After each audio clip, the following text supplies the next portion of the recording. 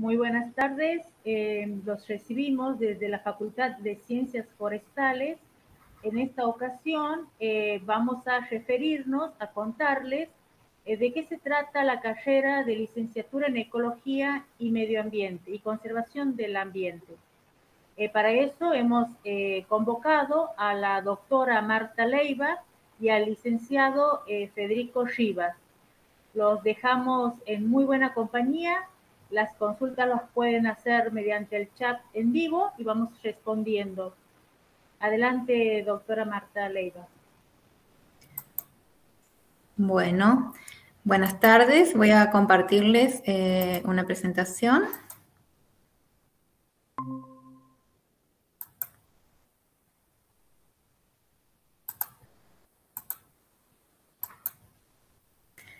Bueno, les vamos a comentar de qué se trata entonces en nuestra carrera, carrera de la que ambos somos egresados, licenciatura en Ecología y Conservación del Ambiente, la cual solemos llamar de forma abreviada LECA en, eh, nuestra facultad y dentro de la universidad. Esta carrera, les voy a contar primero un poquito para qué nos prepara. Principalmente nos prepara para lo que es elaborar evaluaciones y diagnósticos ambientales, ¿sí? Esto significa que eh, nosotros vamos al campo o a lugares, sí, a lugares o a, situaciones en las cuales puede haber o no alguna problemática ambiental y observamos en qué estado se encuentra ese espacio, en qué estado se encuentra el ambiente, eh, en qué, mm, y aportamos una mirada para elaborar, por ejemplo, un informe o un estudio que dé cuenta de determinadas situaciones. ¿Esto para qué nos sirve? Lo más importante es poder proponer manejos sustentables de los recursos naturales y aportar a las soluciones de los problemas ambientales, porque eh, sabemos que lo que es el desarrollo de las actividades humanas en general depende de la base de recursos naturales, ¿no? Y entonces, aportar al manejo sustentable significa que podemos utilizar esos recursos, pero sin agotarlos y sin destruir esa base de recursos. Eh, ¿Por qué decimos que nosotros tratamos de aportar una mirada técnica integral? Porque em, en nuestra profesión lo que buscamos hacer es conocer y aportar desde la ecología pero tenemos que también tener en cuenta aspectos económicos, aspectos sociales, cuestiones culturales, por ejemplo, también que tienen que ver con cómo se manejan los recursos, cómo se maneja el agua, cómo se manejan los bosques, la fauna. Eh, no es solamente conocer lo ecológico o decir, bueno, por ejemplo, a veces nos pasa que pensamos ecología como una conservación estricta y no tocar nada, no romper nada, no cortar un árbol y no. Lo que tenemos que lograr es sostener los recursos naturales con un uso sustentable. Entonces ahí hay que tener en cuenta por ahí la mirada de diferentes sectores, de diferentes disciplinas, desde, eh, y también las cuestiones sociales y económicas. Y un punto muy importante también para nosotros es saber realizar investigaciones en lo que hace la ecología de los ecosistemas naturales y también de las ciudades, ¿sí? Nosotros hablamos por ahí mucho de lo natural, ¿no? Los ecosistemas naturales, pero tengamos en cuenta que también el ecólogo se prepara para trabajar en los problemas ambientales de las ciudades, lo que llamamos ecología urbana y problemas ambientales urbanos. Como por ejemplo, un clásico, ¿no? Los residuos urbanos que eh, sabemos que es de interés de los ecólogos. Y por supuesto también eh, investigaciones sobre la flora y la fauna, principalmente en nuestro caso de nuestra región, para conocer más sobre eh, los ecosistemas. La flora y la fauna nos ayuda a proponer mejores em, condiciones de manejo y de uso de esos recursos. Con respecto a en qué lugares podemos trabajar, em, la carrera es muy amplia, o sea, eso es una cuestión que tenemos que tener en cuenta, todos aquellos interesados, ¿sí? que eh, la carrera es muy amplia, abarca muchas cuestiones y luego el ecólogo puede desempeñarse en diferentes lugares y en diferentes situaciones. Aquí, para resumir, como en tres grandes grupos, ¿sí? hemos eh, planteado, bueno, por un lado está todo lo que se refiere a gestión y control ambiental, ¿sí? Eh, y eso puede ser tanto desde el ámbito gubernamental, o sea, desde el gobierno, ¿no? En las partes de medio ambiente o de otros, otras áreas del gobierno, pero también desde empresas privadas. O sea, las empresas privadas también necesitan gestionar eh, lo que hacen, ¿no? Para justamente no impactar con sus actividades, no impactar negativamente en el ambiente. Y allí nosotros nos podemos desempeñar como consultores independientes, por ejemplo, eh, cuando se hacen evaluaciones ambientales para que una industria pueda instalarse, por ejemplo, pueden trabajar los ecólogos o eh, asesorando como, como, privado, ¿no? como empleado de una industria, por ejemplo, o asesorando en el ámbito gubernamental o directamente siendo parte ¿no? de los empleados del sector público que se ocupan de las cuestiones de control y de gestión ambiental. Eh, por ejemplo, aquí como un ejemplo les he puesto, bueno, lo que es un vuelco contaminante, ¿no?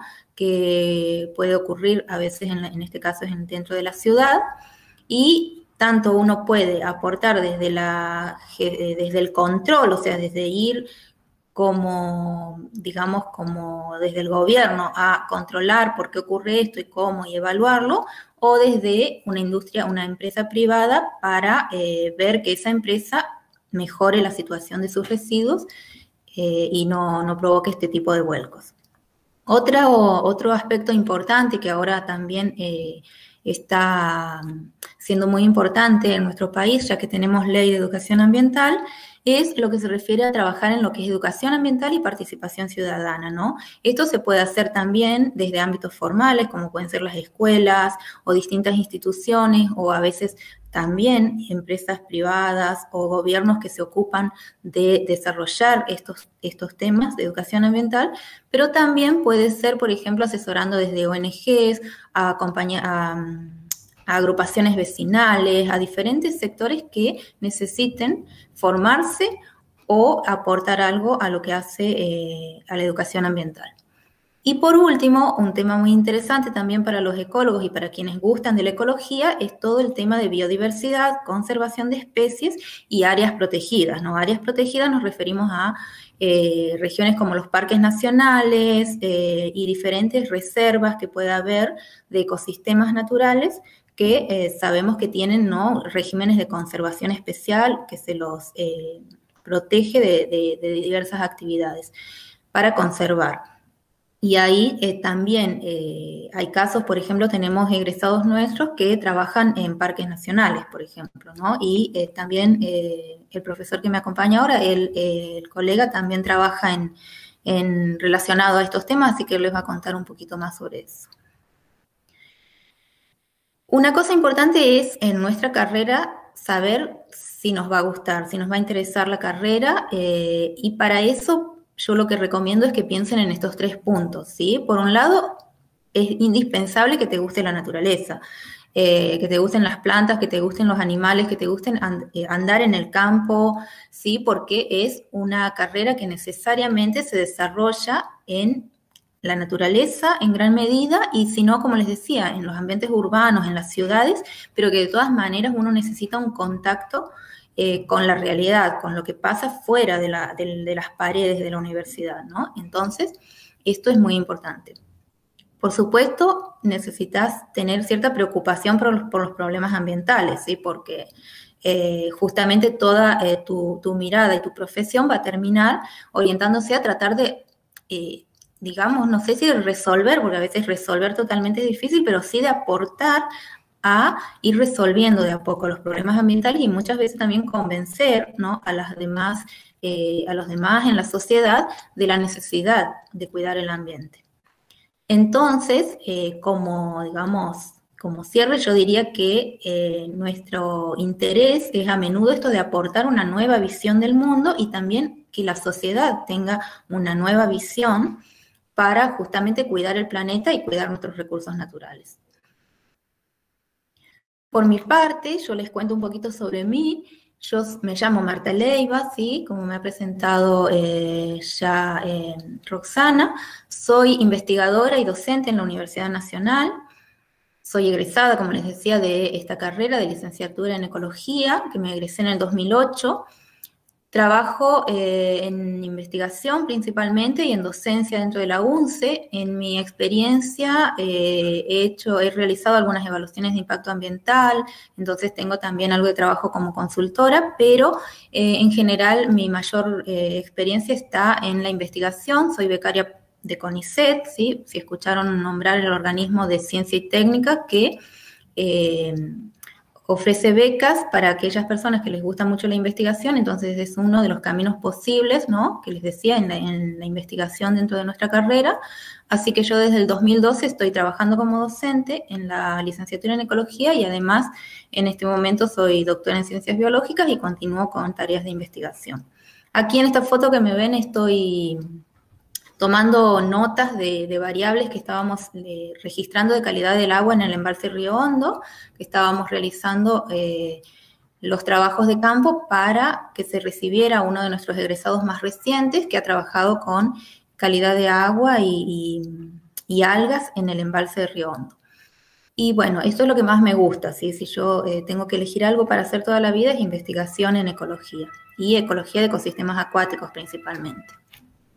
Aquí les muestro un poquito más sobre mí, ¿sí? Aquí estoy en tareas de investigación, estaba levantando muestras de los bichitos que viven en este tipo de plantas acuáticas, estoy en el río Dulce, ¿sí? Estos son repollitos de agua y yo estoy, eh, digamos, lavándolos en este tamiz como para poder desprender de las raíces de estas plantas eh, invertebrados, que son pequeñas larvas, insectos, gusanitos que viven allí, que nos sirven para para después evaluar el cuerpo de agua, si está contaminado o no, por ejemplo, y otras cuestiones.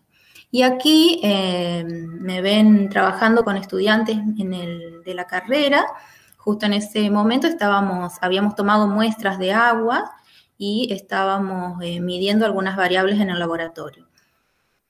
Bueno, eso tenía para contarles sobre mi trabajo y ahora los voy a dejar eh, con mi colega Federico Rivas, que les va a contar sobre el suyo, que también es súper interesante.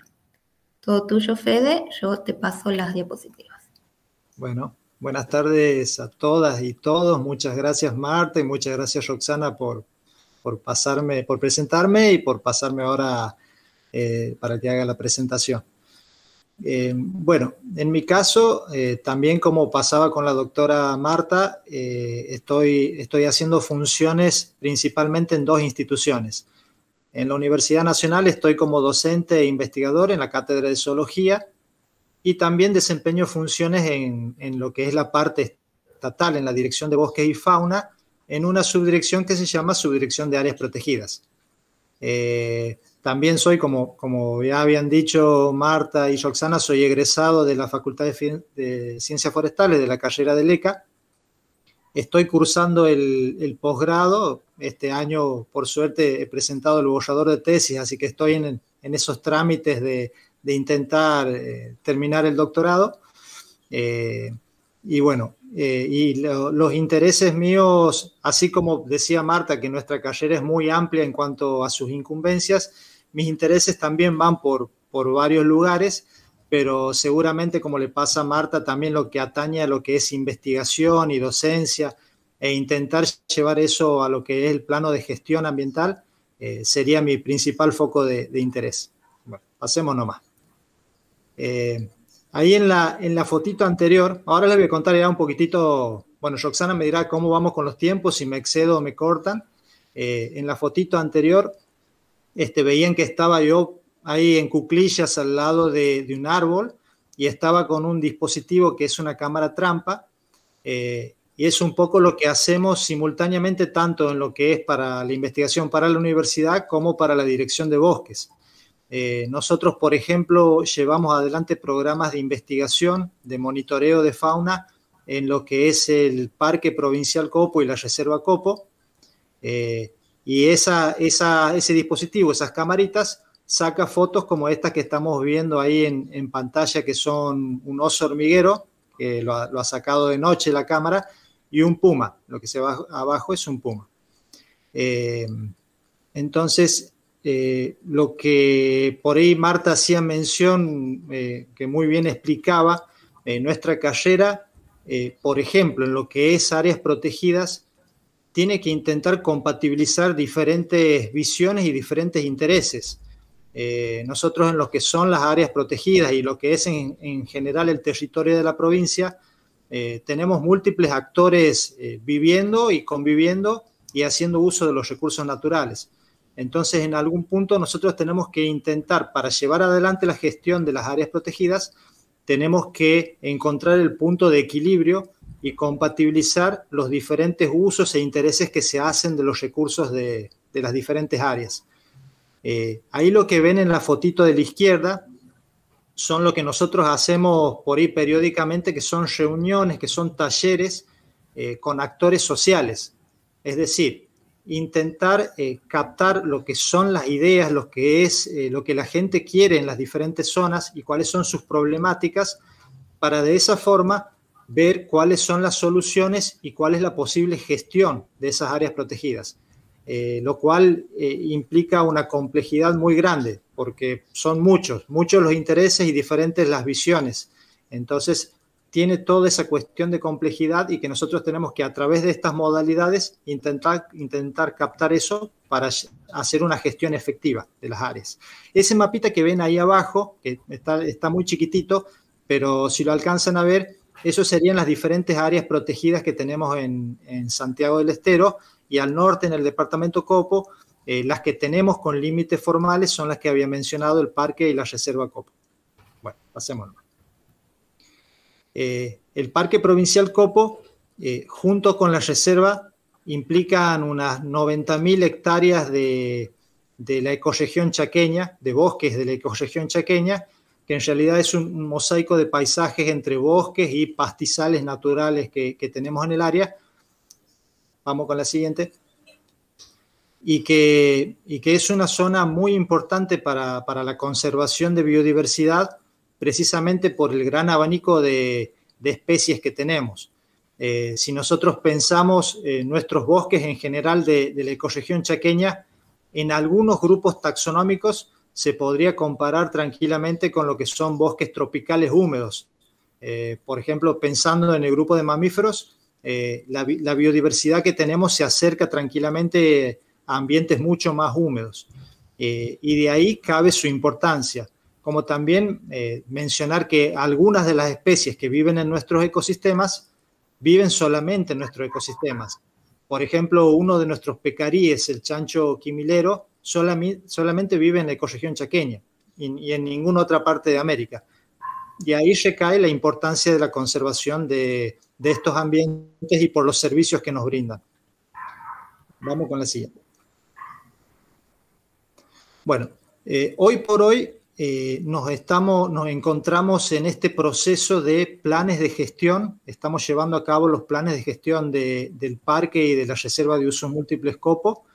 Eh, lo que ven ahí son lo que ya había comentado, esta modalidad de hacer reuniones con, diferentes actores, con los pobladores locales, a través de talleres, donde intentamos definir, marcar el norte, definir cuáles serán los objetivos de manejo del área y de alguna forma consensuar eso con, con los diferentes actores que tenemos involucrados en ese proceso. Eh, si ven abajo los logos que están ahí, eh, hacen mención a que toda esta planificación, estos planes, se dan en el marco de un proyecto mucho más grande, que es un proyecto GEF, que ha sido canalizado a través de parques nacionales eh, y el cual pone el financiamiento, pone el dinero para poder llevar adelante todo, todo el proceso. Eh, nosotros desde, áreas protegidas estamos participando en diferentes mesas e instancias donde en algún punto se, toman decisiones, por ejemplo, de, en cuanto a construcción de políticas, de políticas de conservación. Y por eso pongo ahí unas fotitos que están, eh, la foto esa del colibrí es una página que se llama CIFAP, que en realidad la página hace mención al Sistema Federal de Áreas Protegidas, y esa en la que se ve un yaguareté es que nosotros desde Santiago del Estero participamos en lo que es la Comisión Nacional para la Conservación de Yaguareté. Entonces, de alguna forma participamos en diferentes instancias que llevan adelante planes regionales y de elaboración de políticas para conservación de biodiversidad. vamos con la siguiente. Bueno, eh, dentro de la dirección de bosques hay diferentes subdirecciones, hay cuatro subdirecciones está la subdirección de bosques, la subdirección de fauna, la de forestación y la de áreas, y la de áreas protegidas, en la cual estoy trabajando yo. Pero por más que son cuatro subdirecciones, hay interacción y hay, hay conexión y colaboración entre las subdirecciones. Y en particular en áreas protegidas es como que se da una confluencia de actividades eh, con lo que respecta a fauna y a la subdirección de bosques. Y aquí lo que se ve en las fotitos es que nosotros colaboramos activamente con la subdirección de fauna. Eh, muchas veces animales que son, que por ahí los tiene la gente, los tienen como mascotismo, los tienen en sus casas, eh, nosotros procedemos a realizar el, el procedimiento necesario para, para, secuestrar los animales, tenerlos nosotros y de alguna forma hacer el proceso para que estén en condiciones de después liberarlo de vuelta en, su hábitat. Eh, entonces estas fotos eh, son un poco eso, muestran eso, la colaboración entre subdirecciones y el aporte desde ese, desde ese aspecto a introducir especies de vuelta en su hábitat. Vamos. Y bueno, hasta aquí llegamos. Eh, muchas gracias por la atención y quedamos atentos ahora a las inquietudes y a las preguntas. Muy bien. Eh, hasta, ahora solamente nos han preguntado cuándo comienzan el, ingreso para el ECA. Este, han sido muy claros, han sido muy claros en su exposición, sobre todo en el campo laboral, que es lo que generalmente más les interesa a los ingresantes. Eh, también han dejado muy en claro que los eh, postulantes a estudiar la licenciatura en Ecología y Conservación del Ambiente no solo se remiten a, a una especialidad eh, determinada, sino que pasan por todos los estamentos eh, natural, laboratorio, a campo, río, ciudad, pequeños hábitats que puede ser hasta una roca quizás para ver el, ecosistema o el hábitat de pequeñas comunidades eh, animales o vegetales. O sea, no nos limitamos a un solo espacio, sino que es un abanico de posibilidades, tanto en estudios como capacitación, formación y salida laboral, como también así en el ámbito público, privado. Eh, la licenciatura en Ecología y Conservación del Ambiente, como todas nuestras carreras de pregrado y grado, eh, son, tienen eso en común.